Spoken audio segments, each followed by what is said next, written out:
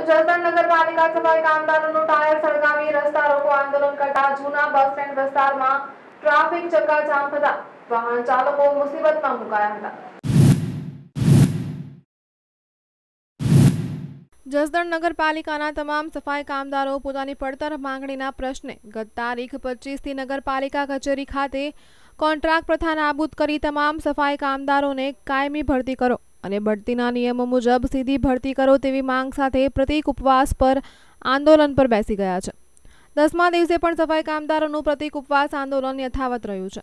નિરાકરણ ન આવે ત્યાં સુધી નમતું મૂકવાના મૂડમાં ન હોય તેવા ઘાટ સર્જાયા છે. ત્યારે જસદણ નગરપાલિકાના તમામ સફાઈ કામદારોએ જસદણ નગરપાલિકાથી લઈ જૂના બસ સ્ટેન્ડ સુધી રેલી કાઢી હતી. જૂના બસ સ્ટેન્ડ વિસ્તારમાં ટાયરો સળગાવી મુખ્ય રોડ પર બેસી ભાજપ સરકાર હાય હાય જસદણ નગરપાલિકા હાય હાય. ચીફ ઓફિસર હાય હાયના નારાઓ સાથે રસ્તા રોકો આંદોલન કરતા સફાઈ કામદારોનું આંદોલન ઉગ્ર બન્યું હતું.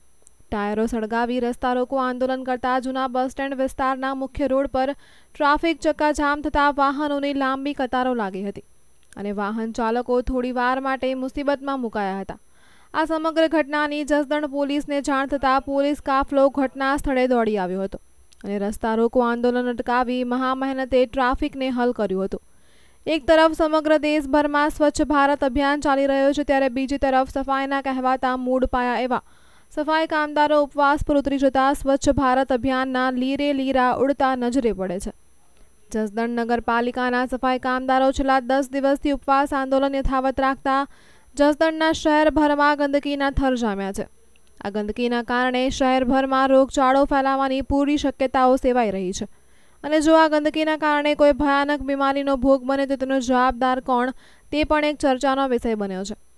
આ ભરતીના પ્રકરણમાં જસદણ નગરપાલિકાના સત્તાધીશોની બેદરકારી હોવાના આક્ષેપો વાલ્મીકી સેના ગુજરાતના પ્રમુખ જીતુભાઈ બારૈયા દ્વારા કરવામાં આવ્યા છે. કેમેરામેન રવિ જીવાણી સાથે રાજબહાડા, એનએસ ગુજરાત ન્યૂઝ, જસદણ.